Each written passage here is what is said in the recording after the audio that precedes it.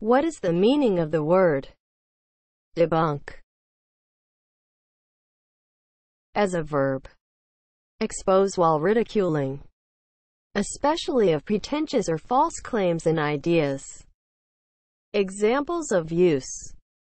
The physicist debunked the psychic's claims.